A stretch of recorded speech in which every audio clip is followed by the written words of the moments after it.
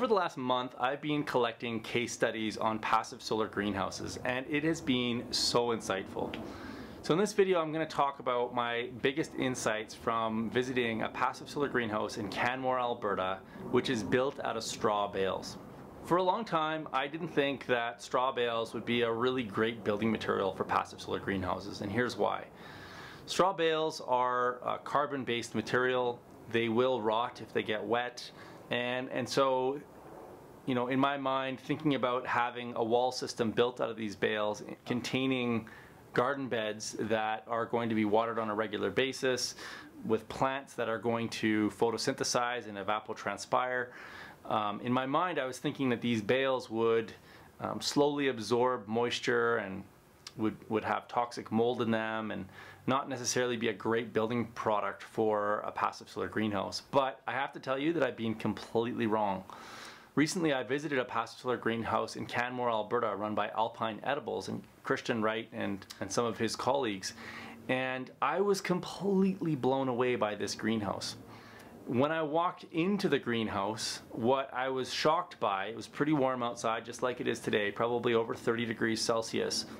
And typically when it's this hot outside and we've got pretty full sun, um, you expect to walk into a passive solar greenhouse and get blasted by heat, like 40, 45 degrees Celsius sort of thing. Um, it's really difficult to manage heat in a passive solar greenhouse. But when I walked into this greenhouse, it actually got cooler. In other words, the greenhouse was cooler than it was outside. And the reason for this was the straw bales. So straw bales themselves have an enormous amount of thermal mass, but the render on the outside of the straw bale has a lot of thermal mass as well. And so these straw bales have been just an incredible building material to manage the thermal dynamics of the greenhouse. So number one, they have a really high R value. Number two, the bale and render itself acts as thermal mass.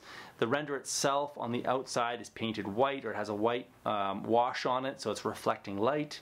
And you know, I was actually really enjoying my time in this passive solar greenhouse because the, the lumpiness of straw bale building um, gives it a really natural and homey feeling. And so going forward, um, straw is definitely going to be on my list of materials to use for a passive solar greenhouse. So if you're considering building a passive solar greenhouse, check this out. This might be a good material depending on the type of ecosystem you live on and whether this material is readily available for you. If you're interested in seeing the case study, check the link in the show notes below. We've collected all of these case studies that I've done over the last two years into a package so that you can watch all of them. If you're not sure if a passive solar greenhouse is a fit for you, this is a great place to start because it's going to give you an idea of various types of greenhouses from inexpensive to expensive ones, from geodomes to square passive solar greenhouses. We've put a lot of effort into these case studies and you're going to get a ton of information about different technologies, ways of storing heat, different glazing options, how to monetize these greenhouses, and I think you're going to get a ton of value out of it. So I'll leave a link to that in the show notes below.